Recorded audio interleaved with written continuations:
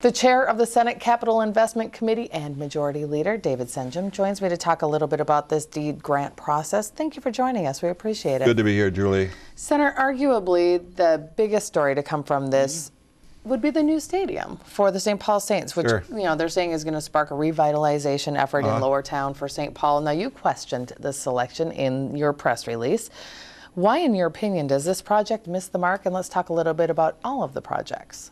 Well, I'm not going to suggest, you know, suggest it was a bad project. Uh, it does mean a lot to, to downtown St. Paul. I just don't think that it, it has, if you will, the economic vitality that that uh, other projects may have. Uh, in, in my case, and not to sound too parochial, uh, uh, a three or four month baseball stadium versus a, a more active facility that uh, does conventions in a, in a high powered way all year long. I think, you know, you can just think about that a little bit. I think, you know, the whole emphasis of the program was economic development, and uh, uh, I just don't think that uh, those two compare very well. And we'll go a little bit more into those projects in just a moment. But as chair of the Senate Capital Investment Committee, kind of discuss for our, the sake of our viewers how this DEED process, sure, this grant process, sure. even came into. Yeah into uh, reality? Well, we were we were working, of course, on our bill. The House was working on on their bill.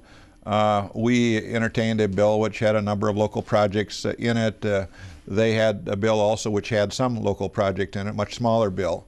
At that point, uh, uh, but their bill did not contain any, any uh, civic centers at all. So at that point, uh, we were sort of in an impasse in this thing, and, and we really got to start to question ourselves about how we deal with local projects. And, and how do we make this thing fair? How do we kind of avoid earmarks? And, and what we decided to do is try to take the politics out of this thing and frankly put together a set of criteria based on economic development principles and, uh, and allocate some money. And not unlike what we do for sewer and water projects or even road and bridge projects and area transportation, could we possibly come up with a, a program that would allow for then local projects to be bonded for based on merit and based on economic development virtues and that was that was the essence of the program. And we put uh, in the end forty-seven and a half million dollars to try to do that. So then it's a matter of whether or not you know it was successful.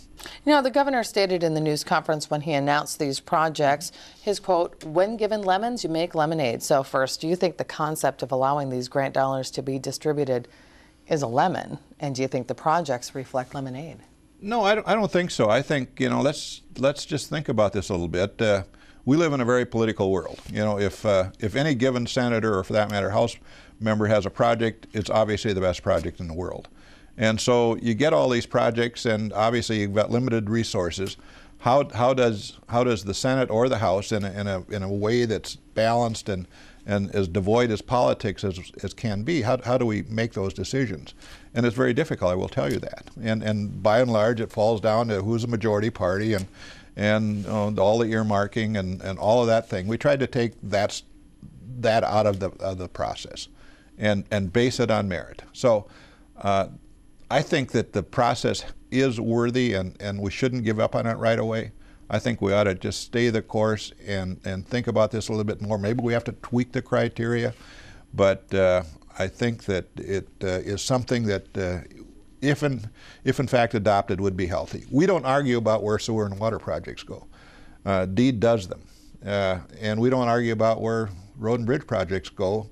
Uh, Department of Transportation does them. We allocate the money and give the agency then the wherewithal to make those decisions. And you talked a little bit about the scoring process and pro you know, projects in general. Mm -hmm. Now, the governor did include light rail in the final list. Mm -hmm. Do you think it's appropriate, in your opinion, for the state's chief execu executive to step in and include a project that he deems appropriate?